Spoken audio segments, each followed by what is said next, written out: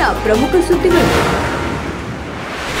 ಭಾರತ ಮತ್ತು ಚೀನಾ ಸೈನಿಕರ ನಡುವಿನ ತವಾಂಗ್ ಘರ್ಷಣೆಯ ಕುರಿತು ಲೋಕಸಭೆಯಲ್ಲಿ ಮಂಗಳವಾರ ರಕ್ಷಣಾ ಸಚಿವ ರಾಜನಾಥ್ ಸಿಂಗ್ ಹೇಳಿಕೆ ನೀಡಿದರು.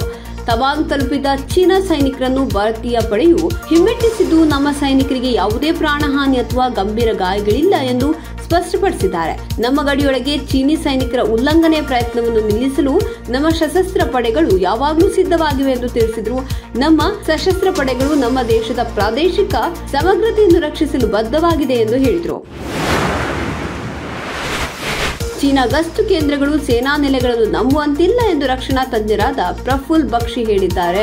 ನಿನ್ನೆ ನಡೆದ ಘಟನೆಯ ಹಿನ್ನೆಲೆಯಲ್ಲಿ ಮಾತನಾಡಿದವರು, ಮಿಲಿಟರಿ ಮಾತುಕತೆಯೊಂದೇ ಶಾಶ್ವತ ಪರಿಹಾರಕ್ಕೆ ದಾರಿ ಎಂದು ಅವರು ಹೇಳಿದ್ದು, ಸೈನಿಕರು ಸಾಮಾನ್ಯವಾಗಿ ಗಸ್ತು ತಿರುಗುವ ಸ್ಥಳಗಳನ್ನು ಶಾಶ್ವತ ಲೈನ್ ಆಫ್ ಕಂಟ್ರೋಲ್ ಎಂದು ಹೆಸರಿಸಬೇಕಿದೆ ಎಂದು ಅವರು ಹೇಳಿದ್ದಾರೆ. ಪ್ರಸ್ತುತ ದೇಶದಲ್ಲಿ ಕಾರ್ಯಾಚರಣೆಯಲ್ಲಿರುವ ಮೆಟ್ರೋ ರೈಲು ಯೋಜನೆಗಳ ಉದ್ದವು ಎಂಟುನೂರ ಇಪ್ಪತ್ನಾಲ್ಕು ಕಿಲೋಮೀಟರ್ಗಳನ್ನು ತಲುಪಿದೆ ಮತ್ತು ಇನ್ನು ಸಾವಿರದ ಮೂವತ್ತೊಂಬತ್ತು ಕಿಲೋಮೀಟರ್ಗಳ ಕೆಲಸವು ನಿರ್ಮಾಣ ಹಂತದಲ್ಲಿದೆ ಎಂದು ವಸತಿ ಮತ್ತು ನಗರ ವ್ಯವಹಾರಗಳ ಸಚಿವ ಹರ್ದೀಪ್ ಸಿಂಗ್ ಪುರಿ ಸೋಮವಾರ ರಾಜ್ಯಸಭೆಯಲ್ಲಿ ತಿಳಿಸಿದ್ದಾರೆ. ನಗರ ಸಾರಿಗೆ, ಮೆಟ್ರೋ ರೈಲು ಎರಡ್ ಸಾವಿರದ ಎರಡರಲ್ಲಿ ಶೂನ್ಯದಿಂದ ಎಂಟುನೂರ ಇಪ್ಪತ್ನಾಲ್ಕು ಕಿಲೋಮೀಟರ್ಗಳಿಗೆ ಏರಿದೆ. ಅದು ಕಾರ್ಯಾಚರಣೆಯಲ್ಲಿದೆ. ಇದು ಸಾವಿರದ ಮೂವತ್ತೊಂಬತ್ತು ಕಿಲೋಮೀಟರ್ ನಿರ್ಮಾಣ ಹಂತದಲ್ಲಿದೆ ಎಂದಿದ್ದಾರೆ. ದೇಶದ ಪ್ರಜಾಪ್ರಭುತ್ವದ ಶಕ್ತಿ ಕೇಂದ್ರ ಎನಿಸಿರುವ ಸಂಸತ್ತಿನ ಮೇಲಿನ ಉಗ್ರ ದಾಳಿಗೆ ಇನ್ನಿಪ್ಪತ್ತೊಂದು ವರ್ಷವಾಗಿದೆ.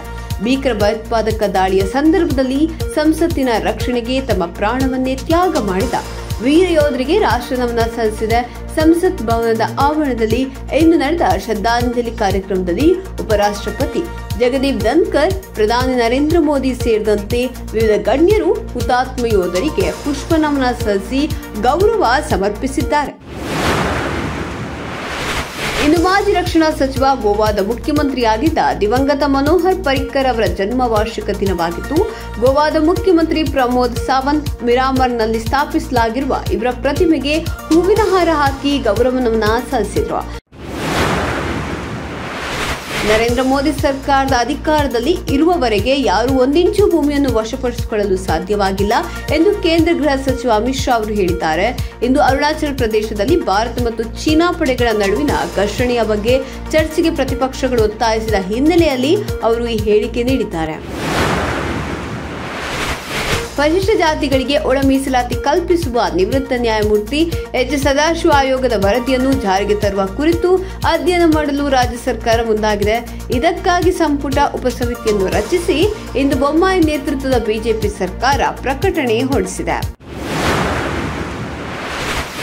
ಇಂದು ರಾಜ್ಯ ರಾಜಧಾನಿ ಬೆಂಗಳೂರಿನಲ್ಲಿ ಜಿ ಟ್ವೆಂಟಿ ಶೃಂಗದ ಪೂರ್ವಭಾವಿ ತಯಾರಿಯ ಸಲುವಾಗಿ ಮೊದಲ ಆರ್ಥಿಕ ಮತ್ತು ಸೆಂಟ್ರಲ್ ಬ್ಯಾಂಕ್ ಉಪಾಧ್ಯಕ್ಷರ ಸಭೆಯು ನಡೆಯಿತು.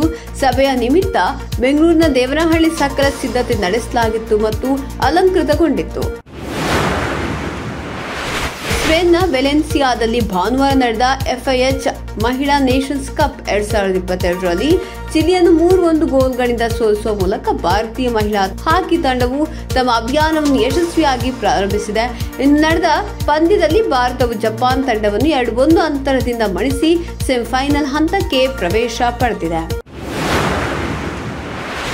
ಫಿಫಾ ಫುಟ್ಬಾಲ್ ವಿಶ್ವಕಪ್ನ ಪ್ರಥಮ ಸೆಮಿಫೈನಲ್ ಪಂದ್ಯವು ಇಂದು ನಡೆಯಲಿದೆ. ರಾತ್ರಿ ಎಂಟು ಮೂವತ್ತಕ್ಕೆ ಆರಂಭವಾಗುವ ಪಂದ್ಯದಲ್ಲಿ ಅರ್ಜೆಂಟೀನಾ ತಂಡವು ಕ್ರೊಯೇಷಿಯಾ ತಂಡವನ್ನು ಎದುರಿಸಲಿದೆ. ಕ್ರೊಯೇಷಿಯಾ ತಂಡವು ಬ್ರೆಜಿಲ್ ತಂಡವನ್ನು ಪೆನಾಲ್ಟಿ ಶೂಟೌಟ್ನ ಮೂಲಕ ಬಗ್ಗು ಬಡಿದು ಸೆಮಿಫೈನಲ್ ಹಂತಕ್ಕೆ ತಲುಪಿದೆ. ನಾಳೆ ನಡೆಯುವ ಮಗದೊಂದು ಪಂದ್ಯದಲ್ಲಿ ಫ್ರಾನ್ಸ್ ತಂಡವು ಮೊರಕ್ಕೋ ತಂಡವನ್ನು ಎದುರಿಸಲಿದೆ.